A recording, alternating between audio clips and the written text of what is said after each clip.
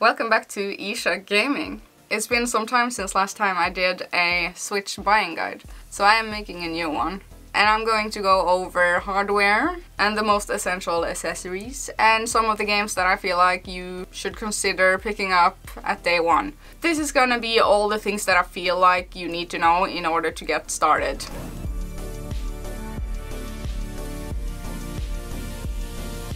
There are two versions of the Switch. You have the Switch Lite and the original Big Switch. The Switch Lite can play only in handheld and the original can be docked and be played on your TV. And right off the bat I want to say that I recommend the original one because of that actual switching. But the Switch Lite is less expensive and it could work for you if you know that you're only gonna play in handheld anyway. But I like to have that option and that is probably the biggest selling point of the Switch, the actual switching between TV and bed gaming. So absolutely I recommend the original Switch.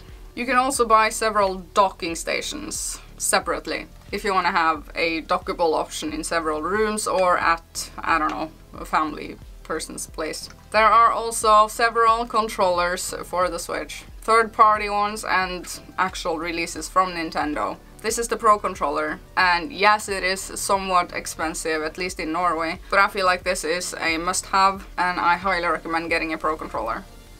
Some other accessories that I highly recommend. They are called grips. They are attachable grips that you attach to your Switch.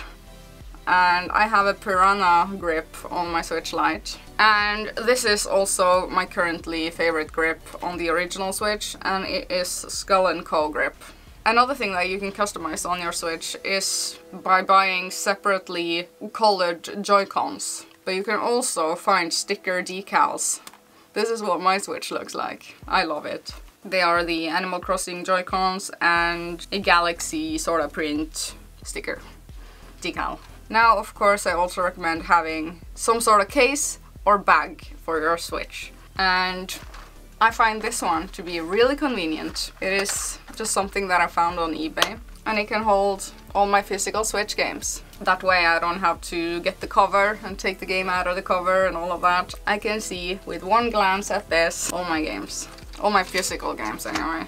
I have a lot of games digitally too. Actually, I have more games in digital than physical. Another super essential accessory, and I feel like not many people will tell you about this, that is you need an SD card. In my opinion, at least 32 gigabyte and up. I have 200 and something in mine, and I have filled that up. So yeah. Now, what is a buying guide without mentioning some games that I feel like you should pick up?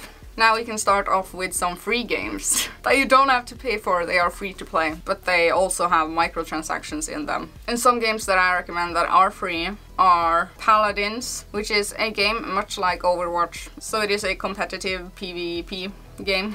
Some other free games that I could recommend are Warface, which is a first-person shooter, and I've mentioned it so many times on my channel. You have Warframe, which is a third-person shooter, very futuristic in its style, and it runs incredibly smooth on the Switch. Then of course you have Dauntless, which is like a free Monster Hunter. You have Fortnite, Pokemon Quest, and on top of all of this you have all sorts of demos. Some of the huger demos that I can think of include Dragon Quest XI's demo, that is really long, and Dragon Quest Builders 2 demo. I recommend Dragon Quest Builders 2. I mean, there are a bunch of demos, so just look around within the eShop and see what you can find.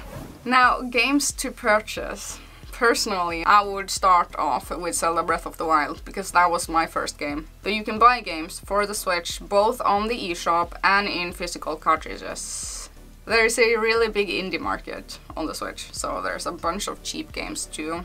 I actually have like a full top 10 video. I have several top 10 videos, but my main top 10 video of the best games that I consider to be the best games on the Switch. You can see that in the card in the corner. But in my opinion, some of the most solid choices would be the first party choices. First party Nintendo games. Super Mario Odyssey, a massive 3D platformer that suits everyone in the family, including all ages. I think it's really approachable that way like I mentioned, Breath of the Wild, because it is a really big open world. But I can see how some people do not like this, because it can actually be quite hardcore with your weapons breaking and all of that. And The world is really overwhelmingly big. But I enjoyed this. I had a blast for 230 hours in this game. It is actually still my most played game on the Switch, I think. Skyrim is my favorite game in the entire world and it is just magical. It is a high fantasy RPG game where you have a lot of freedom to do almost whatever you want. A lot of cities, big open world. Highly recommend Skyrim and I think I always will recommend Skyrim. Now, Xenoblade is also really good if you are into really good traditional RPGs. You have Definitive Edition, which is Xenoblade Chronicles 1, and you have Xenoblade Chronicles 2. I actually recommend number one. I played it more, and I played it on the Wii so many years ago. Uh, but both are good. Also Torna is good. Uh, just good. This is also actually one of my hidden gems on the Switch. because I feel like I am the only one talking about it. Fire Emblem Warriors, I had such a blast with this game highly recommend it. It is a Musou title, which means war on a big map and you hack and slash through a lot of enemies at once.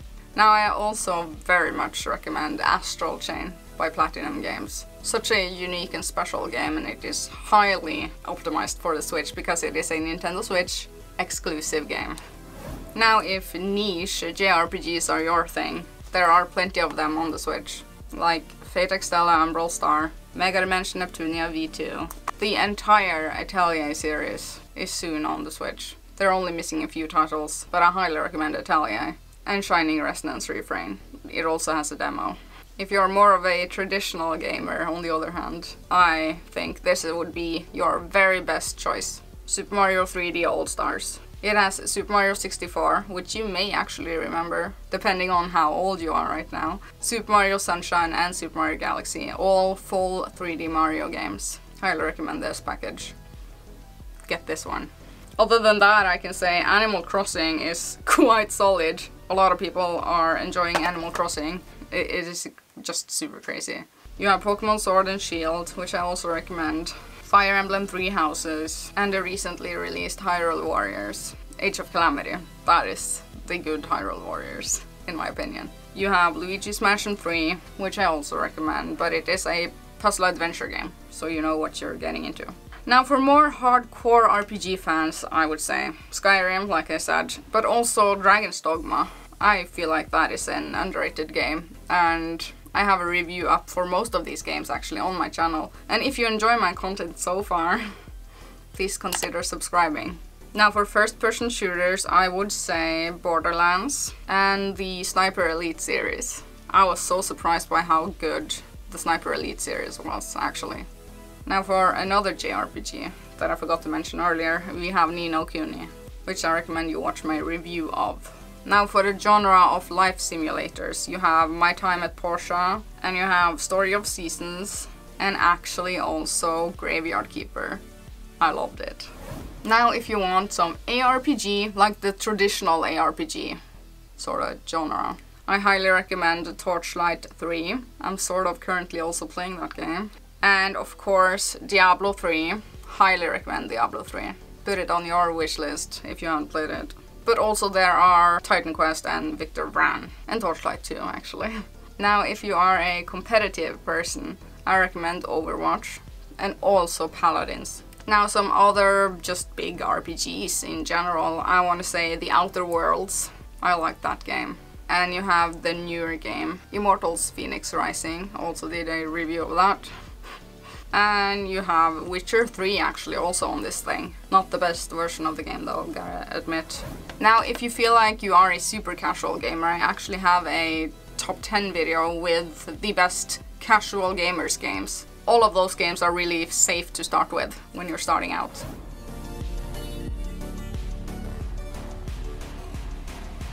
I feel like I am now giving you what I consider to be the best start with getting a Switch. The best games to start with and the most essential accessories like the SD card and a bag and a grip and maybe a case for all of your games also. I love it.